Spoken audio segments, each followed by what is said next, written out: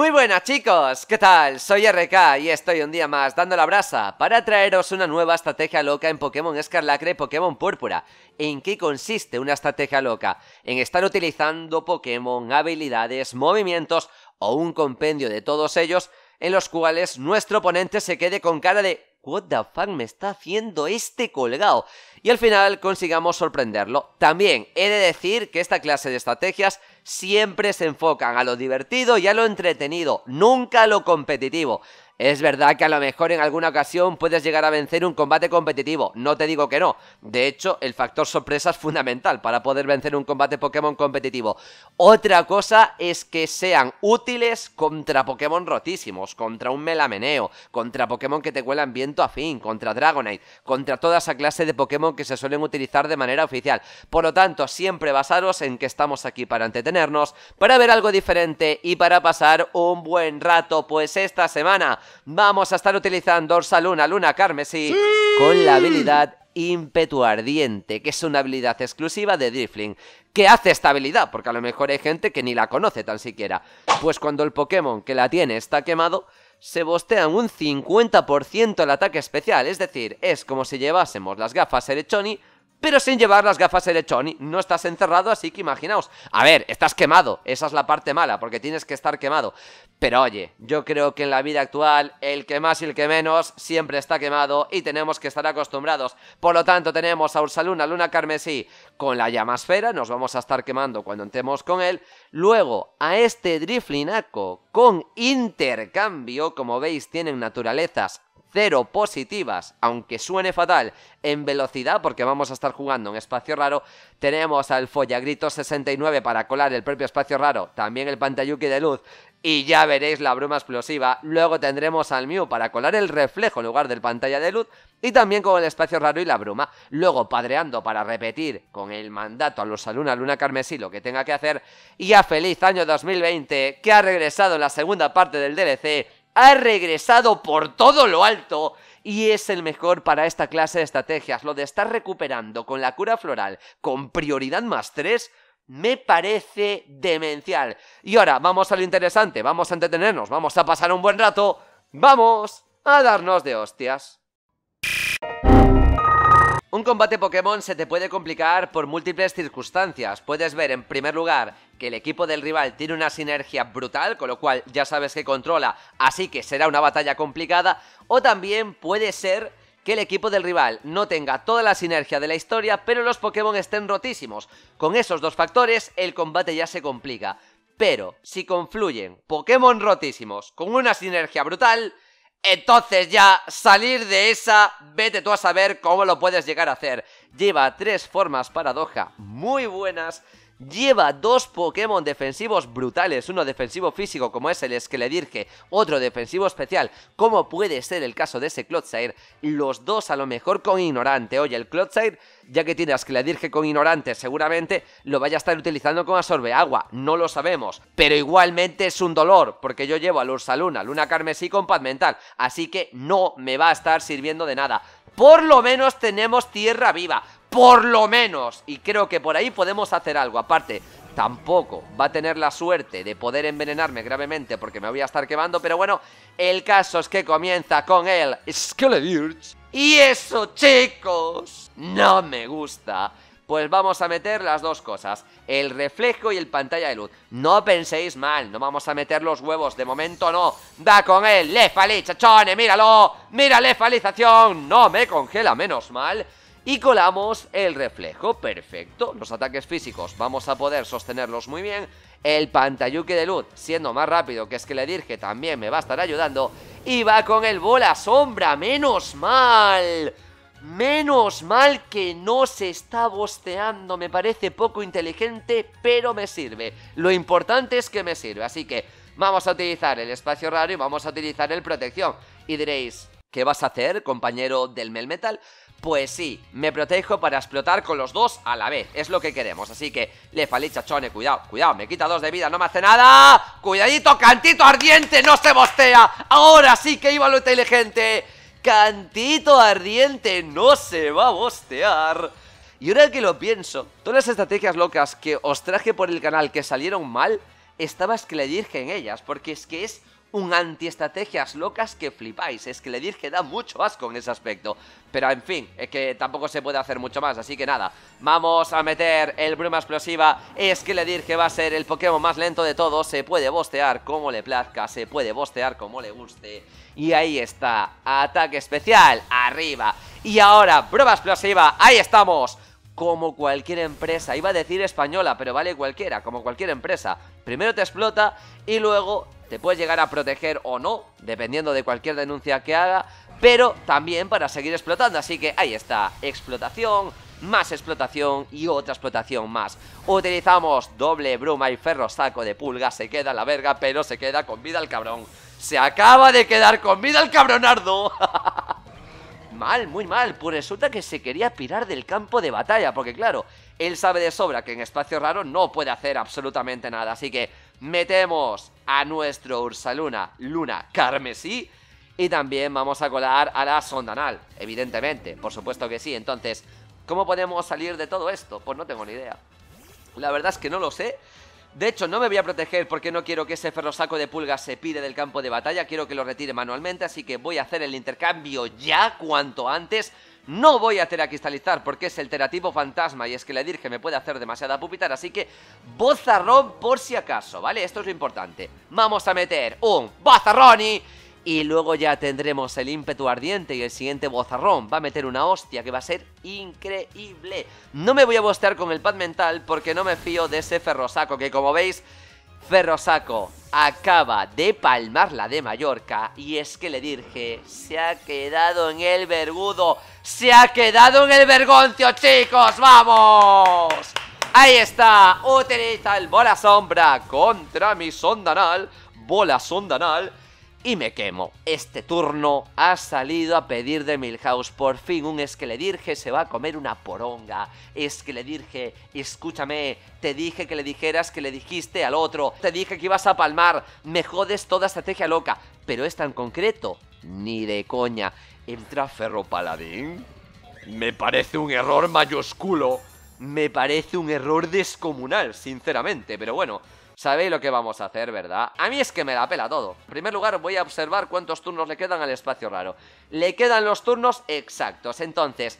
Voy a utilizar un Explochoni Y diréis, pero no te vas a cargar a Skeledirge Sí me voy a cargar a Skeledirge Recordad, he intercambiado habilidades. Ahora mismo, la Sondanal tiene una habilidad con la cual puede estar golpeando con movimientos de tipo lucha y normal a Pokémon de tipo fantasma. Me voy a proteger con Noche de Sexo nos protegemos y se la vamos a liar.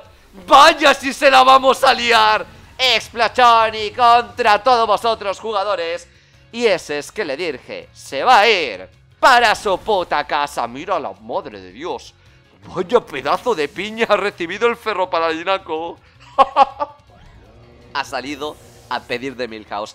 Ahora sí que esa estrategia se acaba de sacar la poronguita. Yo pensé que me iba a estar atacando con lucha, pero no, ¿eh? Me acaba de atacar con el hoja aguda, está loquísimo ese ferro paladín a la taza. Pero este combate ya pinta bien. Pinta muy muy bien, para que no vamos a engañar, así que me queda un tornito de espacio raro, tenemos al padreando dándolo todo, recordad, si queréis utilizar bien el mandato, evidentemente hablo del espacio raro, tiene que ser el Ursaluna más lento que el Padreando. Mandato no sirve para nada porque no funciona con ninguna clase de prioridad. Por lo tanto, vamos a meter el mandato anoche de ese examen. Vamos además a teracristalizar por si acaso, porque no me fío. Y vamos a estar metiendo... Sí, venga, va, no me fío, no me fío. Así que vamos a estar metiendo en primer lugar al Ferro Paladín porque a lo mejor ese Clotzer acaba resistiendo, acaba aguantando, entonces Tera cristalizamos, Tierra Viva contra uno, la va a Palmar de Mallorca, Tierra Viva contra ese Clotzer, que aunque tenga ignorante, hay que recordar algo importante, no es un bosteo en ataque especial, la habilidad lo que hace es aumentar el ataque especial. ¿Qué cojones? ¿Qué cojones? ¡Abre caminos, Clotzair! ¿Qué? pero bueno, pero bueno, bueno, yo ya lo he visto todo en esta vida. Yo ya lo he visto todo en esta vida, lo que os estaba comentando. Aunque Closair tenga la habilidad ignorante, le damos por detrás y por delante y nos la pela. ¿Por qué? Porque el ataque especial no es un bosteo. Ignorante lo que ignora son las subidas y las bajadas de estadísticas en sí mismas. pero es que la habilidad no sube la estadística, directamente la aumenta de manera mágica, por así decirlo, y golpeamos más duro en todo caso. Es como por ejemplo la paleosíntesis, ¿no? Que con la energía potenciadora bostean un 30% las características menos la velocidad, que es un 50%, pero bueno. Pero cualquier ataque lo bostea un 30% las defensas también de manera mágica. Siempre lo pongo entre comillas. Y ahora sí, va a entrar el Garganakel y va a entrar Ferro en Palmas. Dos Pokémon bastante lentos. De hecho, no sé hasta qué nivel de lentitud van a tener estos cabrones. Y como no me fío, voy a utilizar el doble protección porque me quiero asegurar que no me haga el sorpresa, porque a lo mejor me hace el sorpresa y no lo queremos. Y resulta que va con la tera cristalización. Uf, a ferro en palmas además, ¿eh? Cristalización eléctrica. Está muerto. Está muertísimo. Va a ser más lento que yo en todo caso. No lo va a llevar preparado para espacio raro. Ni de jajas, ni de coña. Así que vamos a protegernos por esa sorpresa para que no nos haga palmar turno. No vaya a ser. Utilizamos protección y yo creo que de doble tierra viva va a caer tanto el ferrón palmas sin bosteo ninguno como ese garganakel. Utilizaba el truñito trueno. Ese truñito, yo lo siento mucho, pero no va a caer. Y uff. A ver, ahora tenemos un riesgo bastante tocho, porque al haberme protegido con los dos, he perdido el turno de poder meter espacio raro de gratis, ¿vale? Y eso puede llegar a ser una cagadita. Tierra viva, tierra viva. ¡Venga, va, no la jugamos! ¡No la jugamos! ¡Puñito trueno te la ha cristalizado! ¡Aguanta, cabrón! No va a aguantar. No va a aguantar. ¡Hostia! No me ha quitado nada, tú. No me ha quitado nada. ¡Pero bueno el reflejo! ¡Pero bueno ese reflejo! ¿Pero cuántos reflejos he metido? ¿Qué he metido? ¿15 reflejos o cómo va esto? ¡Madre del amor hermoso! Pero, ¿habéis visto el soberano guante que acaba de tener el Ursaluna Luna Carmesí? ¿Lo habéis visto? No me extraña que esté baneado el cabrón, claro. No me extraña, pero en lo absoluto. Pues la estrategia ha salido genial, no. Lo siguiente de lo posterior, hemos ganado a un muy buen equipo hemos ganado. Mira, el reflejo son los padres ahora mismo. En pantalla de luz también exactamente igual. Pero ya he hecho lo que tenía que hacer y me la pela. ha hecho lo que tenía que hacer y me la suda. De facto voy a utilizar el bozarrón solamente para... Bueno, sí, venga, vamos a calcular el poder destructivo que puede llegar a tener esto. Uf, casi dos hits que yo, cabrón. Casi, casi dos hits que yo. ¡Wow! Y es un bozarrón poco eficaz aún por encima. Se va a quedar en el vergoncio, da igual, va a meter el chalachoni. Y yo creo que ya sabía que iba a palmar la de mayor que le ha metido el salazón al padreando al oranguru porque sí, porque ha seleccionado salazón y al primero que ha visto, porque evidentemente sabía que un tierra viva iba a mandarlo para su puta casa, pero es lo que hay. Así que ahora sí que sí, va a estar el combate hecho y después de este me gustaría subiros otro también, un poquito barriendo, pero cuando esté todo el setup, es decir, cuando ya esté con la llamasfera activa, cuando esté con los reflejos activos y todo, porque no merece la pena mucho más, sinceramente, no merece la pena volver a colar los reflejos y todo esto, así que para que el vídeo no dure 10 horas, vamos al próximo combate y cuando esté todo montado, todo seteado, le damos duro y os pongo la barrida porque aquí estamos barriendo la cocina, la casa entera. Estamos haciendo lo que suele hacer un mouse call, la limpieza general. Estamos a sábado. Revenge, pero es domingo. Da igual, como si lo grabo un sábado, que tampoco lo estoy grabando a sábado, pero era para el chiste de mierda, joder. Venga, va, cuando esté todo seteado continuamos, coño. Esto... ¡Ay, más lento! ¡Mierda! Me ha quitado las pantallas. ¿Por qué más lento, lol? La idea era entrar a grabar ya con todo el setup hecho, pero es que hemos tenido un problemón descomunal. Fijaos, Cuacuabal está muerto de las brumas explosivas, correcto. Pero ese Cuacuabal iba con demolición y me ha quitado las pantallas, es decir, estamos jugando sin red, chavales. Y eso, creedme, que es un pinche problema. Ese Sceptile atacante especial, estaba utilizando Energy Pollazo, así que Pad mental sin pantallas no me gusta pero me la tengo que jugar, no voy a tener que cristalizar todavía, ya veremos, ¿eh? De momento vamos con el intercambio, va con Extreme Speed, pero ¿qué hace? Pero, o acaba de hacer una predit o no entiendo nada, pero lo bien que lo ha hecho con el demolición en el momento que he colado las pantallas, no tiene sentido a lo que acabamos de ver con ese Dragonet, así que intercambio de parejas activo, ahí estamos, somos unos buenos swingers. Y va con el Energy Pollazo. Mi... Hostias. Hostia, me quema de Energy Bola, tío. Que tiene un 0% de posibilidades. Bueno, no pasa nada. Me acabo de comer una poronga, pero me acabo de comer una poronga, ¿verdad? Que yo qué sé ya. Pues nada, explosión, protección, explosión y luego hay que meter a Confey. No me queda otra ya. O sea, a partir de aquí no me queda otra. Así que nos vamos a proteger, vamos a explotar. La estrategia está pendiendo de un hilo de manera chunga chunga. Ahora sí, el Stream Speed va contra Ursaluna. Pues sabéis que os digo, Tenía que haber cristalizado en el turno anterior y nada hubiera pasado, porque si ese Stream Speed se lo hubiera tragado Ursaluna, Luna Carmesí, que sería lo lógico, lo normal, entonces probablemente estaríamos muertísimos porque no tenemos pantallas, ni reflejo, ni tampoco pantalla de luz. Pues bien, acaban de palmarla todo Kiski, pero sigue manteniendo la prioridad. La parte buena es que ha perdido el multi-escamas Dragonite. Te vas a enfadar con Confei, voy a hacer que se cabren con Confei. Voy a hacer que dejen de hacerle focus al propio Ursaluna para que se centren en Confei porque voy a estar curando con prioridad constante y sonantemente. Y ahora sí, es que ni tan siquiera necesito otra cosa, o sea, voy a hacer tierra viva y literalmente voy a utilizar el cura floral. Y os digo, no pasa nada, velocidad extrema prioridad más 2, cura floral con la habilidad de Confei es prioridad más 3 es que tiene muchísima prioridad. Lo que no tiene es sentido, no tiene sentido ninguno, pero bueno, ahí está. Estamos celebrando el año 2020 todavía, míralo.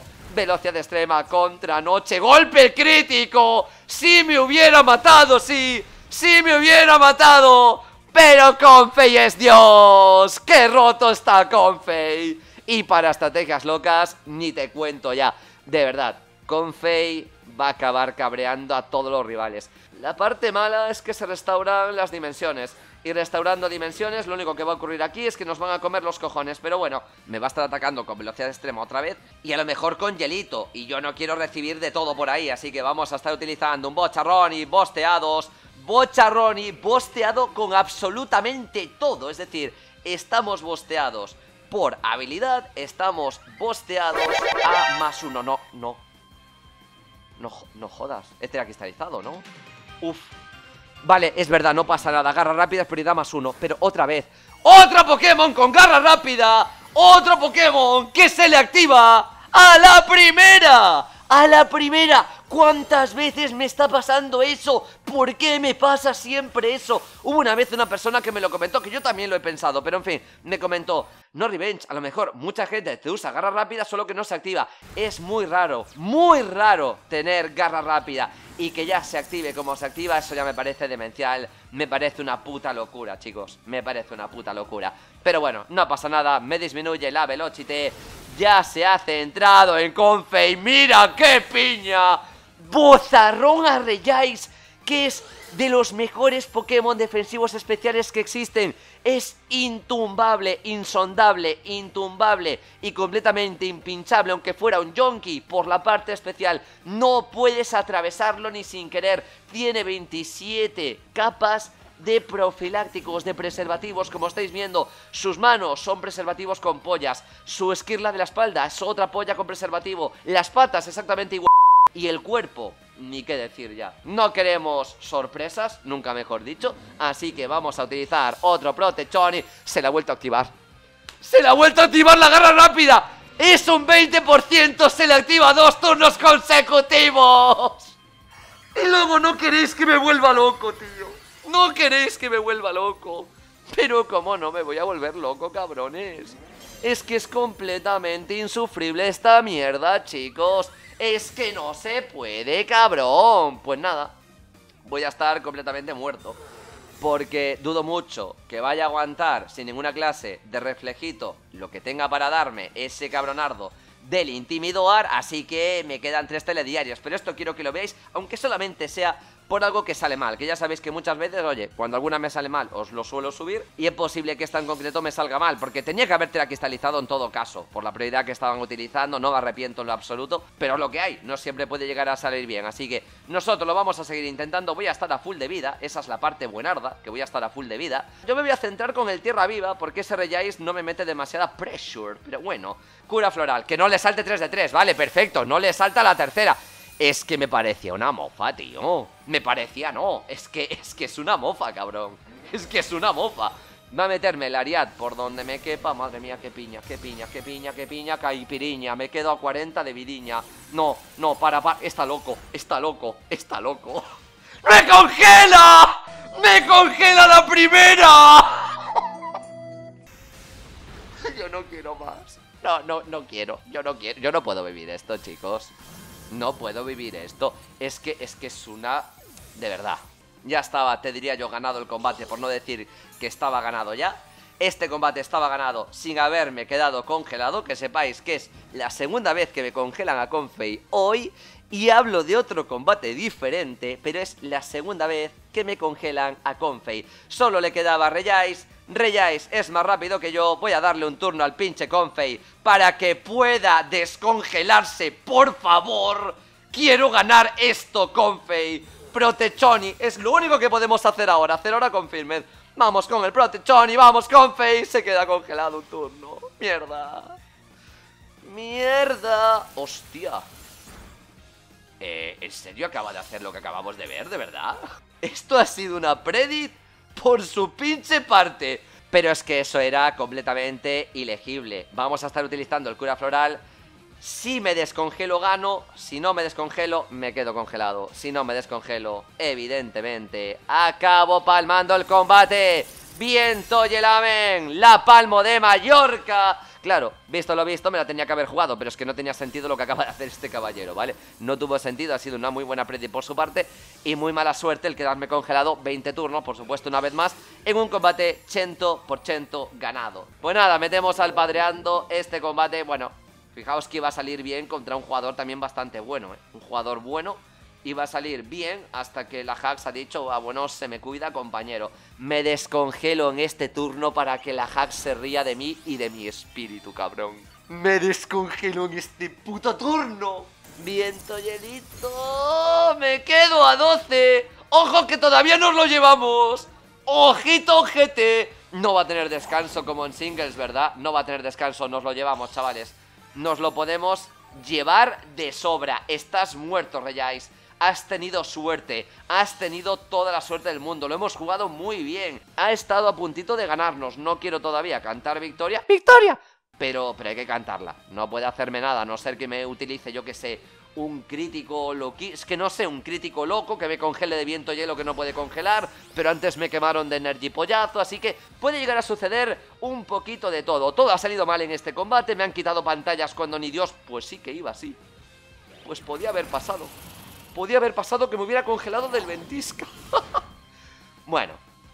Un combate digno del canal, como siempre. Estrategia loca que sale bien, vuelve a salir bien, aguantando a Shane, que puede ser una tienda donde puedes encontrarte un hilo dental que te sirva como top hasta la venta de...